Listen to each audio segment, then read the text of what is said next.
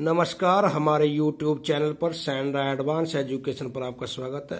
अतः मैं सुधीर कुमार आपके साथ हूँ। आज हम कक्षा चार, हिंदी सेकंड लेसन टू वर्ण विचार के विषय में अध्ययन करेंगे। आइए देख, कल हमने भाषा और व्याकरण और लिपि के विषय में पढ़ा। फिर व्याकरण के विषय में पढ़ा था हमने कि व्याकरण के तीन विभाग थे, वर्ण विभाग, शब्द विभाग और वाक्य विभाग। आज हम पहला वर्ण विचार पढ़ते हैं। बोलते समय हम मुख से अनेक ध्वनियाँ निकालते हैं। ये ध्वनियाँ ही वर्ण हैं, इन्हें ही अक्षर भी कहते हैं। वर्ण की मुख्य पहचान यह है कि इसके और टुकड़े नहीं किए जा सकते, अर्थात सबसे छोटी। वह छोटी छोटी ध्वनि है। अब डेफिनेशन क्या बनती है? भाषा की वह छोटी से छोटी इकाई या ध्वनि जिसके और अधिक टुकड़े नहीं किए जा सकते वर्ण कहलाती है। आप वर्ण के भेद, वर्ण मुख्यतः दो प्रकार के होते हैं स्वर एंड व्यंजन। अब स्वर देखेंगे नंबर वन, जिन वर्णों के उच्चारण में किसी अन्य वर्ण की सहायता की आवश्यकता नहीं पड़ती, उन्हें स्वर कहते हैं। भाषा में स्वर संख्या ग्यारह है। ए, आ, ई ऊ ऊ री, ए, आई, ओ, आओ कहने मतलब यह है कि स्वर वे होते हैं जो बिना किसी की सहायता, अन्य वर्ण की सहायता से बोले जाते हैं। ये मूलतः भी शब्द होते हैं। व्यंजन। व्यंजन देखिए, जिन वर्णों के उच्चारण में स्वर वर्णों की सहायता लेनी पड़ती है, उन्हें व्यंजन कहते हैं। हिंदी भाषा में तैतीस व्यंजन होते हैं। कहने का तात्पर्य है कि वे वर्ण जो स्वरों की सहायता से बोले जाते हैं, व्यंजन कहलाते हैं। उच्चारण स्थल के आधार पर कंठ, कै, ख, ग, घ ये कंठ कंठ से बोले जाते हैं गले से। तालव्य च, छ अण। थार ताल से बोले जाते हैं, तालव्य से। मूर्धन द, ट, ई अण। ये मूर्धन्य है, दंत, त, थ, द, ध, न। ये दंत है होस्ट ये होस्ट का मतलब है ये होठ और से बोले जाते हैं। होठ खुले रहते हैं, प, फ, ब, भ, म।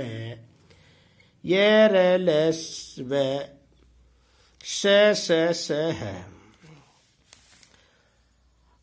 इनके देखिए, इनके अतिरिक्त हिंदी में कुछ अन्य वर्ण भी हैं। इनके अतिरिक्त मतलब स्वर और व्यंजन के अतिरिक्त। हिंदी में अन्य वर्ण भी हैं, आओ इन्हें जाने आयोग व आयोगा जाते हैं, यह अनुस्वार कहलाता है। इसका चिन्ह अंक की बिंदी भी कह देते हैं इसको। इसका प्रयोग व्यंजन के ऊपर किया जाता है, जैसे पंख शंख रंग तरंग, पलंग, पतंग आदि। यह चंद्र बिंदु होता है यह अनुनासिक कहलाता है, इसे भी व्यंजन के ऊपर ही लगाते हैं, जैसे पाँव, सांप, बांसुरी, हसमुख आदि। इसे विसर्ग कहते हैं, इसका उच्चारण अह की तरह किया जाता है, जैसे प्रातः, क्रमशः निसहाय निसंकोच आदि। संयुक्त व्यंजन, संयुक्त का मतलब जुड़ा हुआ। दो व्यंजनों के मेल से बने व्यंजनों को संयुक्त व्यंजन कहा जाता है, जैसे छ। छ बना कै प्लस छ से बना हुआ है। जैसे रक्षा, कक्षा, भिक्षा त्रय तय में त्रय में तय आधा और रै पूरा त्रय जैसे छत्र मित्र, पुत्र, कुत्र। गैग जय आधा अण पूरा जय याग, ज्ञान, ज्ञाता, ज्ञानी।